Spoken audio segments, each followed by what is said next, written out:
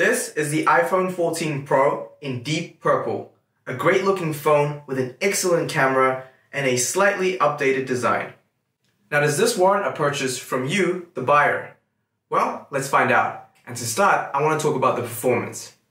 It's no shocker that iPhone 14 Pro has great performance when playing games. The higher refresh rate also means animations when gaming or navigating through the UI feel more fluid. I found that going in and out of tasks felt light, and the same can be said when I transitioned between apps. It's nice to see the 6GB of RAM in the 14 Pro boosting the capacity to hold apps in memory. I found that Face ID was really snappy and very accurate, as it can now unlock even when you have a face mask on.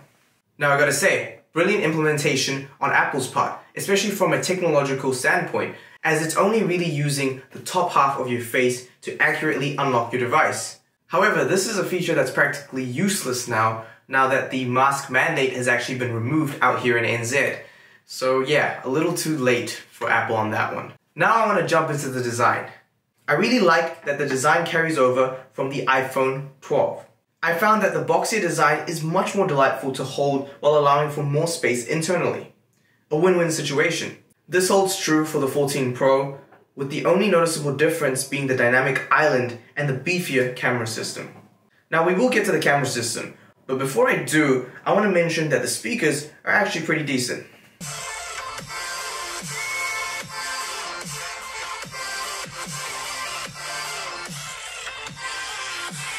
Alright, so I want to put the focus, no pun intended, on the new 48 megapixel sensor, which combined with Apple's new image processing system is designed to enhance image quality, especially in low light scenarios.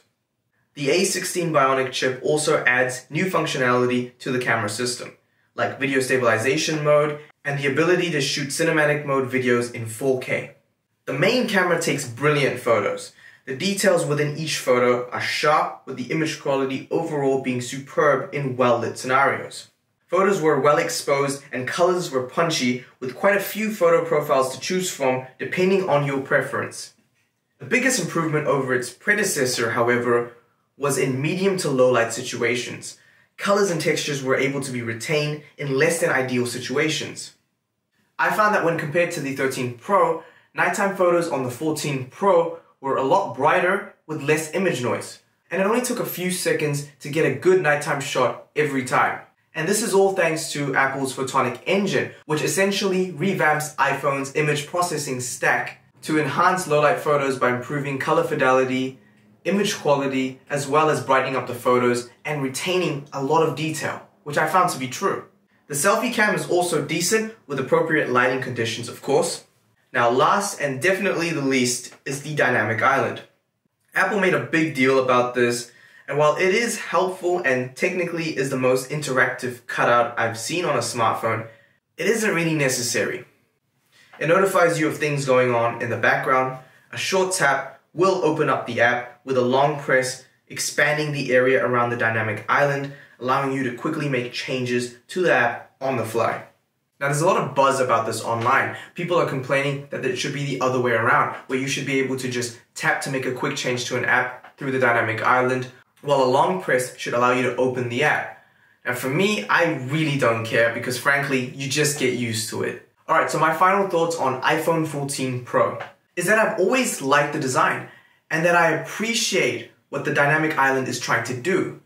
I found that the hardware is top notch with the software being simply brilliant. But most of the things I've just mentioned hold true for the 13 Pro. The only real wow factor here for me ties back to the camera system because you really do get a versatile camera system with feature-packed software, half of which I couldn't even fit into this video. And so I definitely want to make a separate video just on the camera system itself. And that is honestly the main selling point for the 14 Pro. You get this amazing camera system, the Pro camera system, in a compact design. You want a bigger screen? Go for the 14 Pro Max. Now, you don't really care about the camera system, you say? Well, just pick up the standard 14. They got the cooler colors as well. This phone right here is truly for the mobile photographer and videographer. It's a great overall phone that will set you back about 1,150 USD. So my closing statement here then is for you, the buyer, to really think about what you want from your new iPhone.